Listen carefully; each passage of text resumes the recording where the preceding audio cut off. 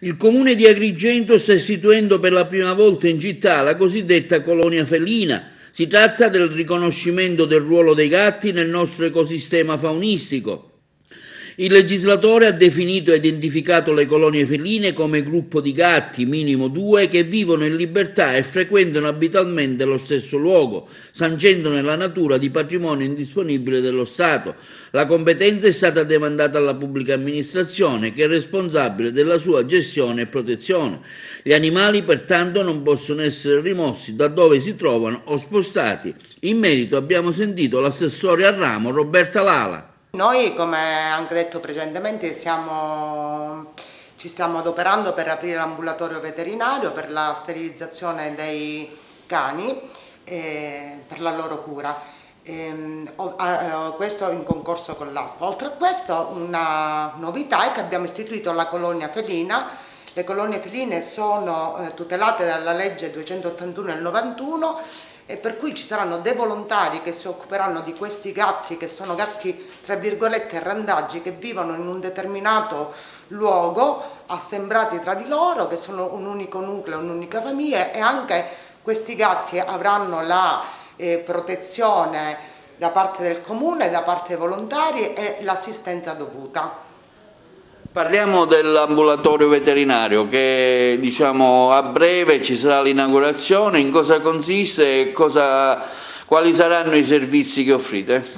L'ambulatorio veterinario è di fondamentale importanza per la lotta al randagismo perché il randagismo attraverso le sterilizzazioni vedrà uh, un ribasso nel numero dei, dei cani appunto randaggi, oltre alla sterilizzazione con l'ausilio della collaborazione dell'ASP ci sarà anche la microcippatura dei randaggi.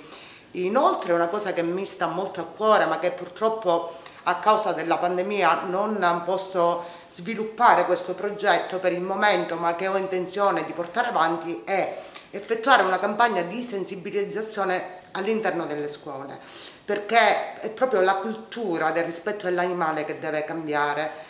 E, mm, spesso eh, i bambini non sono cresciuti, non tutto ovviamente, guardando quello che succede nel rispetto per l'animale, perché l'animale non è un soprammobile, è un essere vivente, è un essere vivente che ci può dare tanto. Nessuno ci obbliga a prendere un cane, ma nel momento in cui lo facciamo dobbiamo averne cura perché non solo maltrattarne è un reato, ma è un atto vile, davvero vile. Quindi io invito tutti ad avere rispetto per questi esseri che sono tutto cuore, sono degli esseri puri, sono degli esseri che dobbiamo tutelare perché l'evoluzione culturale in un paese si vede anche da come trattano gli animali.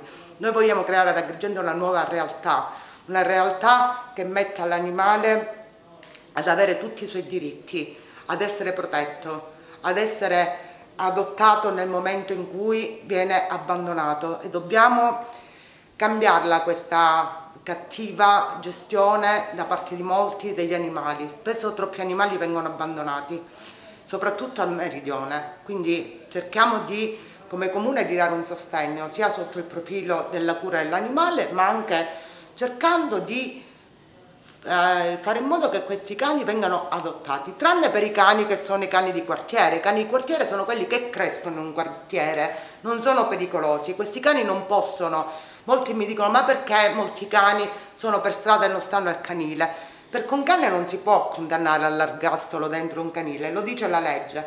Un cane deve essere sterilizzato per legge, microcippato e poi rilasciato nel territorio. Ovviamente non nel caso in cui un cane è pericoloso, in quel caso purtroppo verrà eh, chiuso nel canile senza possibilità di uscire. Ma i cani di quartiere sono cani che sanno vivere da soli nel quartiere, spesso la gente del quartiere se ne prende cura, quindi se molti di voi vedono dei cani di quartiere, il comune ha già assieme alla, alla, um, al rifugio di cui in questo momento con il quale abbiamo contatto e contratto, e guarda se questi cani assieme all'aspe sono pericolosi o meno, se non sono pericolosi li rimette nel territorio.